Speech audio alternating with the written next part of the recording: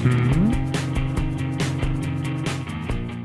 I'm Dr. Shahrad Taheri. I'm Professor of Medicine at Weill Medicine. I'm also a diabetologist who takes care of patients with diabetes.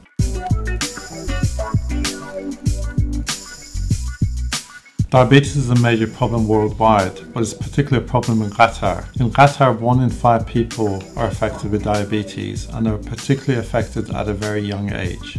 Also, we need to consider in Qatar that about one in five people are at risk of pre-diabetes, that means they're at risk of becoming diabetic later on. A major driver for this issue of diabetes is obesity. About 40% of people in Qatar have problems with obesity. When obesity develops, this results in type 2 diabetes, and type 2 diabetes in Qatar is occurring at a very young age.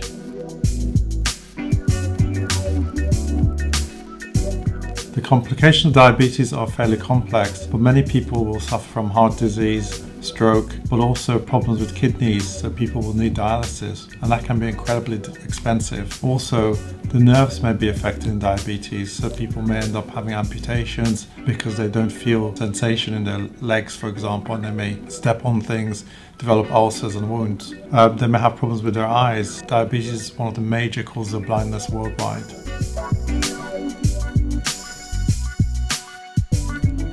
Well, the reason obesity and diabetes occur so quickly in Qatar is because the economy has changed, so the social environment has changed. What we call this is a nutrition transition, where people are transitioning between the old traditional types of foods as well as adding the more Western type of foods. Whenever this occurs, whatever country it is, there's excess obesity occurring.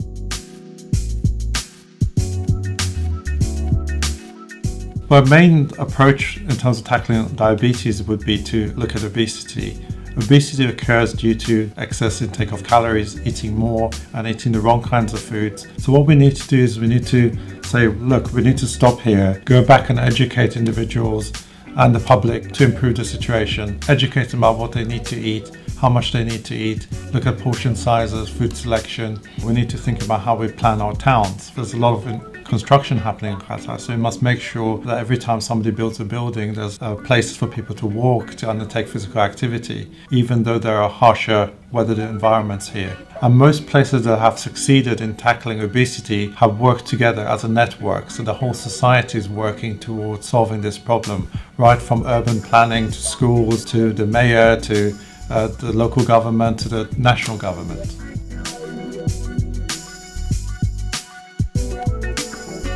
My motto in life is not a motto as such, it's more asking a question of yourself is who do you want to be? Do you want to be a healthy, vibrant, successful person? In that case, you need to put the effort in to succeed with that. So you need to have those goals in mind in terms of your health, which means that always keep your health first.